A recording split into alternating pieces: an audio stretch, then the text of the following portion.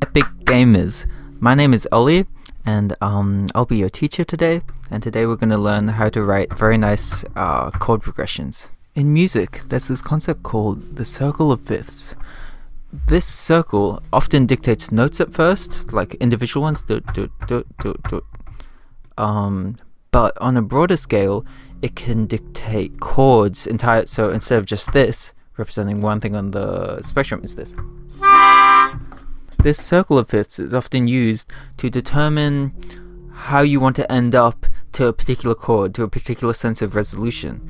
The classical musicians want to go from, so like, hold on this way, anti-clockwise, right?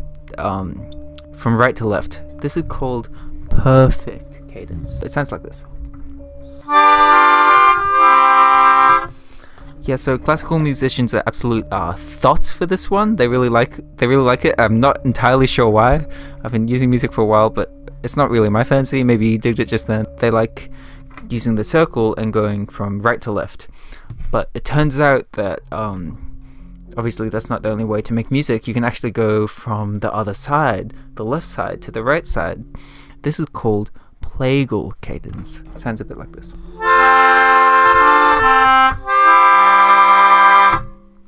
To be honest, I've been talking about perfect and plagal so far, but um, that's kind of shallow or short-sighted. There's actually much more than two ways to do this.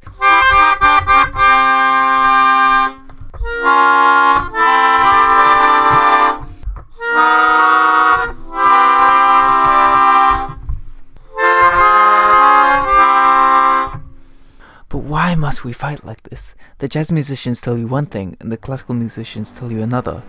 The truth is, the game was rigged from the start. There is no one best chord progression, just as there's no one best group of people. Instead of forcing an entitlement and explanation to an individual's belief, like, oh, my classical my classical way of resolving to one is so good. I use, you know, G to C. I'm going to tell you all about it. I'm going to tell you about how the leading tone goes here, and I like it, and I think about it. Um, maybe instead of looking within our own argument, we can start to expand and see that many walks of life are actually equally valid. And if this is the case, then need we not argue on the pedantics, but start to establish, well, how can we be accepting of all these types of people? And integrate it into a holistic, better sounding music musical piece. It's about music. We're all just one race. The human race.